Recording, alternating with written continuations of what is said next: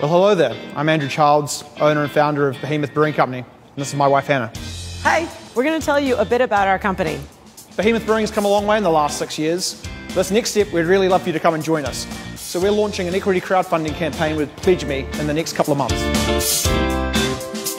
Last month, we were honoured with being named the SOBA National Brewery of the Year. We were just missing one thing, a physical brewery.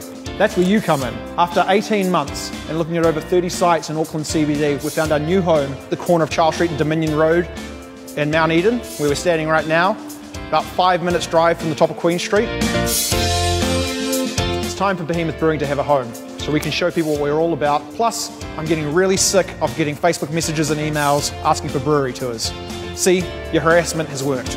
Size brewery are you looking to have? Looking at having a 3,000 litre brewery and then a little 600 litre brewery to have the fun, keg only stuff, stuff that you have to come here to have a try, stuff for festivals, fun stuff. A bar, restaurant that can hold 140 people.